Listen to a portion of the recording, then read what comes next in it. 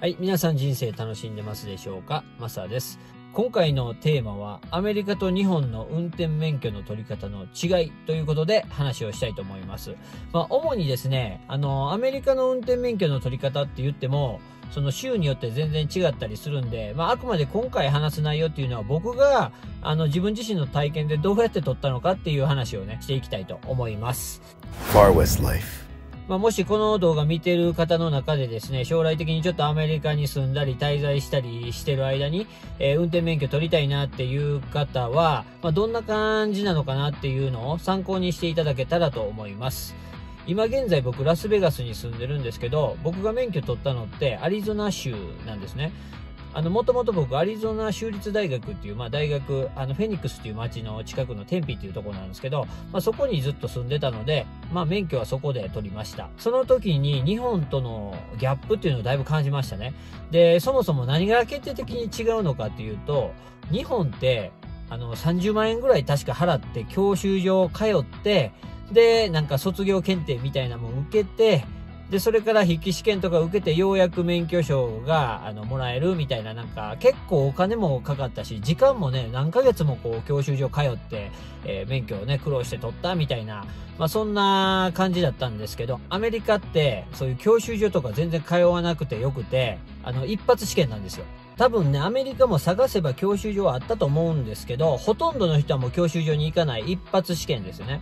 まあ僕が試験を受けたアリゾナ州の話にはなるんですけど、あの、全然そういう試験場とか行かなくてもよかったし、そんな30万円とかね、お金も払ってませんし、えー普通に一発試験でした。まあアリゾナの話なんですけど、まあお金もですね、たったの25ドルしか払ってなかったですね、僕の時はね。で、25ドル払って、しかもね、あの、試験落ちても全然大丈夫なんですよ。なんか3回ぐらいまでね、あの、受けれるんですよ、25ドルで。1回25ドル払ったら、もうあの、2回試験落ちてもまだ3回まで大丈夫みたいなね。で、3回以上落ちたら、あの、基本的にもう1回25ドル払い直しみたいな。だから全然それでもお金かかってないっていうね。だからめちゃめちゃええやんけって思う部分もあるんですけど、逆にですね、びっくりした部分もあって、でそれ何かって言ったら、あの、その試験、実地試験に使う車っていうのを自分で用意しないといけないっていうことなんですよね。だから、日本だったらその教習上の、えー試験場の車を使えると思うんですけど、アメリカって基本的に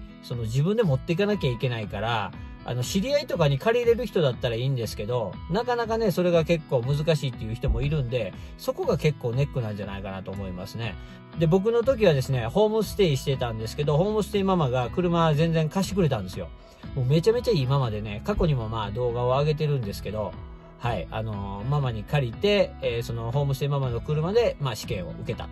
えいうことなんですね。まあ僕の場合はたまたまそれでね、受けれたんですけど、そうじゃない人たちは、何かしらこう中古の車買うのか、ね、誰か友達に借りるのかしないと、まあ難しいかなっていうところはありますよね。で、まあ僕日本でももう普通に運転免許持ってたんで、そのアメリカ来るときに国際免許もついでにあの、もらって、それからあのアメリカ来たんですよね。で、国際免許ってあの1年間一応有効なんで、まあ最初来たてなんで、まあ多少ちょっとね、英会話できたかなっていう頃だったんですけど、やっぱりちょっと緊張もしてたんで、ゆっくり勉強して、こう、自信がついた時に試験受けようかなぐらいに思ってたんですけど、あの、学校の先生がですね、いやいや、国際免許持ってても、アリゾナの法律で、えー来て2ヶ月以内に、あの、ローカルの免許を取らないと、国際免許の効果ないんだよって言われて、えおまわりさんに見つかったらそれね、あの、問題になるから、2ヶ月以内に免許取りなさいって言われたんですよね。で、えー、と思って、で、急遽やっぱりね、その DMB っていうところなんですけど、試験場ですよね。そこでこう本をもらってきて、まあ無料でもらえるんで、それで、まあ勉強して、あの、まあ、すぐにできる限り、まあ、早く、えー試験を受けようかなと思いました。で、アメリカの場合は、あの、先にね、筆記試験をこう受けるんですよね。で、えっと、これがね、また筆記試験も結構面白いんですよ。あの、日本って、筆記試験って、あの、100問僕受けた時あったんですよ。で、100問受けて90問以上正解で、えー、OK みたいな、なんか合格みたいな感じだったんですけど、あの、僕がアリゾナで試験受けた時めちゃめちゃ面白くて、あの、30問しかないんですよ。で、30問でこう選択問題こうやっていくんですけど、タッチパネルで僕受けたんですよね。で、タッチパネルでこうやって受けるんですけど、あの、30問全部、あの、受けなくていいんですよ、実は。30問中25問以上正解したら合格なんで、受けていくごとに、もうあの、答えを押した瞬間に、はい、これが正解とか、間違いとか出るんですよ。だから、あの、ずっとそのままやっていって、まあ、変な話、25問連続正解したら、もう25問で、はい、合格ってなるんで、30問全部受けなくてもいいっていうね、そういう仕組みなんですよ。逆に言ったら、あの、最初6問連続間違えたらもうそこで、はい、ストップ、ね、えー、不合格って出るんですよ。だからもう、あのー、6問以上間違えた時点で途中で機械が止まって不合格になるんで、あの、全部受けなくていいっていう結構面白いシステムだったんですよね。で、まあ僕の場合はこう順番にこう受けていって、ちょっと何個かこう間違いもあったんですけど、27、8問目ぐらいで、はい、えー、合格ってなんかこう出たんですよね。それでまあ、あの、筆記試験はなんとか、まあ選択問題っていうのもあったんで、タッチパネル式で、まあ、試験を受けて合格することができました。で、そこで、あの、試験場の人がこう来てですね、君、あの、筆記試験これで合格だけど、どうする？このまま実地試験もこの後すぐ受ける？それとも、また、あの、練習してから何日か後に戻ってくるどうするの？って言われて、え、その場で受けれるんですか？って、えー、なって、受けれる受けれるどうする？って言って、あ、じゃあ受けますって言って、で、じゃあ何分後にもそこの、はい、建物の横に車つけてとかって言われて、えー、マジで？と思って、そんなすぐに受けれんねやと思って。で、まあ、せっかくね、合格したし、もう何回も試験場来るのめんどくさいから、もう受けることにしたんですよね。で、えー、っと、何分後かに、こう、車をつけてですね、えー、待ってたら、こう、試験官みたいな人がこう、来たわけですよ。で、えー、ドアガチャってね、え開けて、助手席にこう、座ってきたわけですよ。で、はい、じゃあ試験始めようか、つって。で、こう、なんかファイルみたいなのこう持って、こう見てるわけですよね。で、君のこの名前はあれか、あの、日本人か？って言われて。で、はい、日本人ですって言ったら、なんか、あの、日本人もたまにね、ちょくちょく受けに来る人いるけど、なんか日本って車のね、運転する道がアメリカよりもすごい、やっぱ狭いから、運転結構難しいとかっていう話も聞くんだけどね、君は日本で運転してたのかって言われて、あ、はい、してましたって言ったら、あ、じゃあもう大丈夫だよね。とか言って言われて、え？って思って。で、そこで、ちょっとかすかな期待があったんですよ。もしかして、え？受けなくていいの？もうこれでおしまいなの？やった合格！みたいな感じで、ちょ思ったんですよ。だけどね、やっぱそんな甘くないんですよね。あの、試験官の人が、まあまあまあ、でも一応ね、ほら、試験を受けなきゃいけないから、まあまあ、やりましょうか、みたいな感じになったんですよね。あ、やっぱ受けんのかと思って。で、まあ、なとりあえず出発しようかって、はい、スタートって言ってね、こうやるんですよ。で、僕結構ね、あの、緊張してたんですけどね、あの、めちゃくちゃこれがまた面白くて、あの、アメリカってこう左ハンドルじゃないですか。だからこう、右折するのがこう簡単じゃないですか。で、逆に言うと信号でこう左折する方がこう難しいわけじゃないですか。で、こういろいろこうね、右折したり左折したりなんかいろいろさせられるのかなってこう思ってたんですけど、もう試験場の周りをぐるーっと右折だけで一周して、はい、おしまい。はい、オッケーつって、高速道路も何も乗らない。もう、はい、ぐるーっと待って。はい、オッケーみたいな。えー、みたいな。これでおしまい？みたいな。え、終わりなんですか？って言ったら、うん、終わり。はい、大丈夫。って言って、はい、合格よ。とか言って言われて。で、やったえ、これでパスやったって思ったんですよ。そしたら、やっぱりね、まだそこでも甘くなかったんですよね。試験官の人が、ああ、あの、そのね、運転のやつは、まあ合格なんだけど、ごめんごめん、あの、まだ重列駐車残ってるからって言われて。で、俺が、あ、やっぱり重列あんねんやって思って。で、僕ね、あの、重列駐車って、もうしばらく何年も全然やってなかったんで、一番それが実は緊張したんですよね。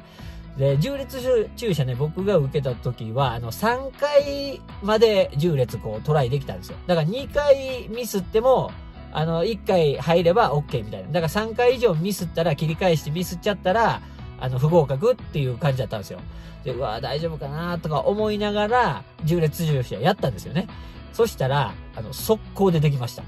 で、それは、あの、ただね、僕のスキルがすごいとかそういうのじゃないんですよ。あの、実はですね、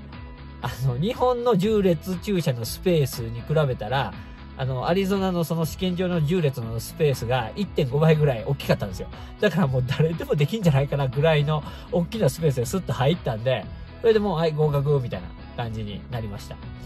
なので、まあ、晴れて、もう一発で僕は、あの、免許を取ることがまできたということでございまして、もう本当にね、あの時の感想は日本に比べたらめちゃめちゃ簡単やんけって思いました。そんな感じで、まあ僕は、あの、アメリカでアリゾナ州なんですけどね、免許を取りました。で、ちなみに筆記試験なんですけど、まあ僕はもちろん英語で受けたわけなんですけど、ただね、アメリカって結構メキシコ系とか南米系の人とかも多いからスペイン語とかもあって、で、僕がいたアリゾナ州のところ中国語もあったんですよ。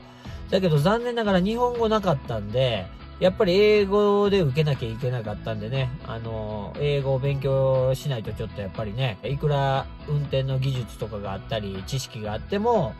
あの、英語を多少知っとかないと、まず筆記試験が難しいかなっていうイメージはありますよね。だから、そのスペイン人の人とかね、中国人の人はほんまラッキーやなとは思いますけど。ただ、まあ今ちょっとどうなってるのかわかんないですけど、カリフォルニアとか日本人が多い地域では、なんか日本語もあるっていう風にまあ話は聞いたんですよね。だから逆に本当に英語が全くできなさすぎる人は、なんかわざわざそっちの方の州に、なんか行って、なんか留学かなんか、なんかで滞在して、そこで、えー、免許取ってから、なんか切り替えたりする人もいるっていう話はまあ聞きましたよね。まあ僕の感想は、その、日本である程度運転したことある人だったら、多分全然、あの、左ハンドルにさえ慣れたら全然問題ないです。ただですね、筆記試験が、あの、内容自体はそんな難しくないんですよ。簡単なんですよ。特にもう日本で運転したことある人だったら、ちょっとプラスアルファで知識、あの、本で勉強したらもうすぐできるんですよ。ただ問題なのがね、あの、英語なんですよね。英語が全くできないと、やっぱりいくらね、元々の知識があっても、まあ試験がね、ちょっと受けるのが、読んだりするのがちょっとね、問題見たりするのが難しいかなっていうところもあるので、まあやっぱり、ネックはま英語ですよね。英語をある程度できるように、まなれば、えー、いいかなと思います。もう本当にダメだったらその日本語の試験がある州で行ってもらうっていうね、そんな感じがいいと思いますね。Far West Life はい、もし他にですね、アメリカ生活のことで、まあ僕の体験談とかで良ければ、こういうこと話してほしいよっていう内容とかあったらね、えー、ぜひコメントいただけたらと思います。また色々ね、動画作っていきたいと思いますので、よろしくお願いいたします。はい、ということで今回はこんな感じで終わりたいと思います。ご視聴どうもありがとうございました。それではまた次のパーウェストライフでお会いしましょう。皆さん、アメリカで快適な運転をしましょう。Thank you for watching this episode of Far West Life. The channel's theme is having fun in America. I hope you got to know a little bit about America by watching this channel. Please subscribe to this channel if you have an interest in America, and let's enjoy the Far West life.